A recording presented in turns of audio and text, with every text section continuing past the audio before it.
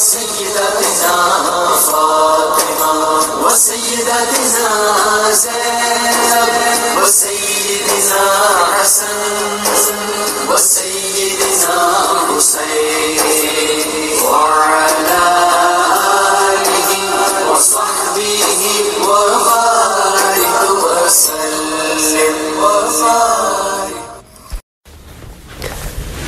السلام علیکم ورحمۃ اللہ وبرکاتہ آج بات کرتے ہیں حضرت عمر رضی اللہ تعالی عنہ کے دور خلافت سے۔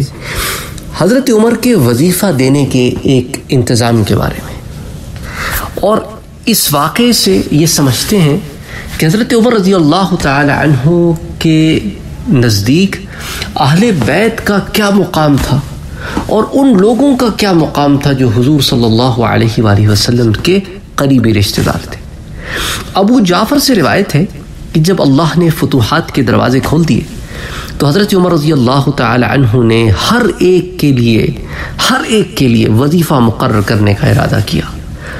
اور رائے مشورے کے لیے بڑے بڑے صحابہ کو جمع کیا۔ حضرت عبد الرحمن ابن عوف نے کہا کہ آپ اپنی ذات سے شروع کیجیے۔ حضرت عمر نے کہا، ہرگز نہیں۔ اللہ کی قسم اس سے شروع کروں گا جو حضور صلی اللہ علیہ وآلہ وسلم سے زیادہ قریب ہوگا اور بنو ہاشم سے شروع کروں گا۔ دیکھیں نا، قریش تو سارے ہی ہیں۔ حضرت عمر بھی قریش ہیں عبد الرحمن ابن عوف بھی قریش ہیں، زبیر بھی قریش ہیں، طلحہ بھی قریش ہیں، خالد بھی قریش ہیں۔ پر قریش میں بنو ہاشم سے ابتدا کروں گا۔ اللہ اکبر اللہ اکبر۔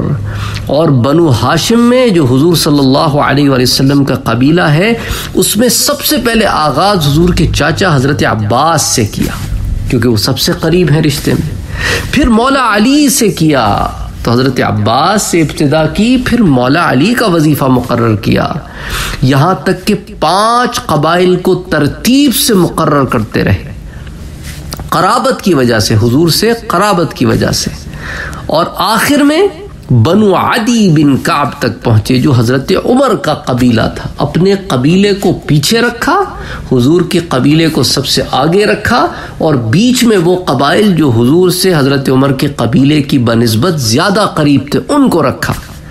تو بنو عدی بن کعب تک پہنچے۔ ترتیب یوں رکھی گئی کہ بنو ہاشم میں جو لوگ بدر میں شریک تھے، ان کے لیے عطیات مقرر کیے۔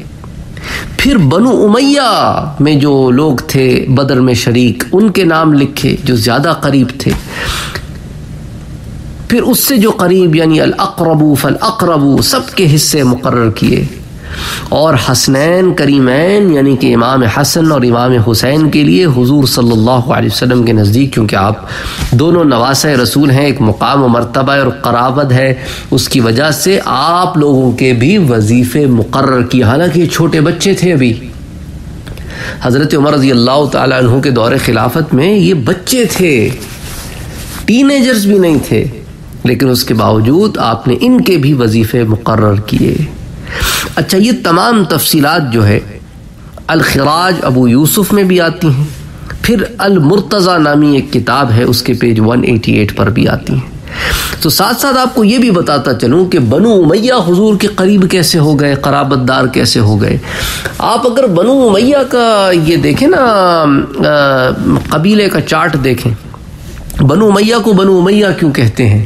کیونکہ ان میں ایک شخص گزرا تھا جس کا نام تھا امیہ۔ ابو سفیان کا امیہ سے کیا تعلق ہے؟ ابو سفیان ابن حرب ابن امیہ۔ ابو سفیان کا دادا ہے امیہ۔ ٹھیک ہے؟ اور حضرت معاویہ کے پردادا ہو گئے۔ اچھا اسی طرح حضرت عثمان کا تعلق بھی بنو امیہ سے تھا۔ تو اب یہ امیہ جو ہیں، ان کے جو والد ہیں، وہ کون ہیں؟ عبد الشمس اور عبد الشمس جو ہیں ان کا تعلق حضور سے کیسے ہو گیا؟ آئیے حضور کا نصب نامہ پہلے دیکھتے ہیں۔ محمد بن عبداللہ بن عبد المطلب بن ہاشم بن عبد مناف بن قسی۔ دوسری طرف آ جائیں۔ ابو سفیان بن حرب بن امیہ بن عبد الشمس بن عبد مناف بن قسی۔ تو عبد مناف کے ایک بیٹے ہاشم ہیں اور ایک بیٹے عبد الشمس ہے۔ تو حضور صلی اللہ علیہ وآلہ وسلم سے یوں عبد مناف پر آ کر بنو امیہ کا نصب مل جاتا ہے۔ اللہ اکبر اللہ اکبر۔ تو اسی لیے بنو ہاشم کو پہلے دیا، ان میں جو بدر میں شریک تھے، ان کو مقدم رکھا۔ پھر بنو امیہ کی طرف آئے کہ یہ بنو ہاشم تو نہیں ہے لیکن ہاشم سے ایک جنریشن اوپر چلے جائے عبد مناف، تو یہ عبد مناف کی اولاد ہے۔ سمجھ رہے ہیں آپ؟ تو ایسے درجہ بدرجہ اوپر گئے ہیں۔ پھر اس کے بعد بنو عبد مناف کے بعد پھر بنو قسئی ہیں، پھر بنو کلاب ہیں، پھر بنو مرہ ہیں، پھر بنو کعب ہیں۔ تو بنو کعب میں سے ایک شاخ پھر حضرت عمر کی بنو عدی نکلتی ہے۔ تو اسی طرح اگر آپ نام کاؤنٹ کریں نا، بنو ہاشم، بنو عبد مناف، بنو قسئی، بن کلاب، بنو مرہ تو پھر اس کے بعد پانچویں جو ہیں وہ بنو کعب ہو جاتے ہیں۔